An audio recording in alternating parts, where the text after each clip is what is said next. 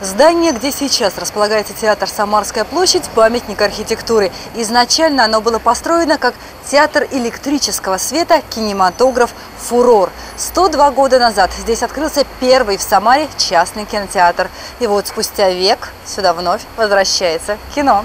Снимай кино. Камера, мотор, фойе театра, импровизированная съемочная площадка. Под софитами профессиональные актеры и совсем новички, люди с ограниченными возможностями здоровья. На площадке неподдельные эмоции и настоящие таланты. Любовь Калякина первый раз примерила на себя образ актера, а вот кино в здании театра для нее не в новинку. Я сюда ходила еще, мне было 10 лет, когда в этот кинотеатр.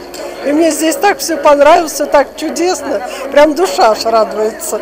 Муниципальный театр «Самарская площадь» стал первым полностью доступным для людей с ограниченными возможностями здоровья. Такие праздники здесь проходят постоянно, а между обществом инвалидов и труппой театра – настоящая дружба. Они уже знают нас, мы знаем их в лицо. Они уже, когда приходят, делятся какими-то своими успехами, особенно дети.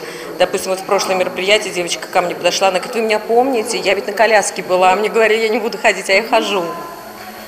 То есть даже вот такие случаи. Люди раскрылись, люди показались, насколько они талантливы. Самое главное, человек вышел из дома, человек оделся, человек настроился на общение.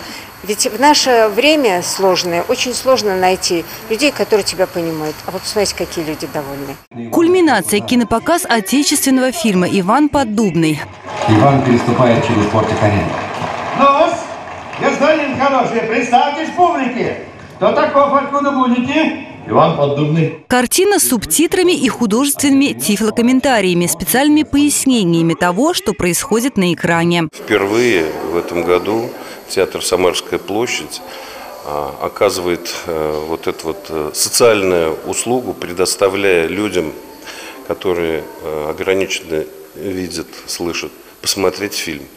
Э, специальное оборудование позволяет это сделать. Это еще одно подтверждение того, что не только бизнес, но и культура являются социально ответственными. Акцию посвятили году кино в России. Впереди еще несколько таких показов для взрослых и детей. Марина Кравцова, Сергей Баскин. События.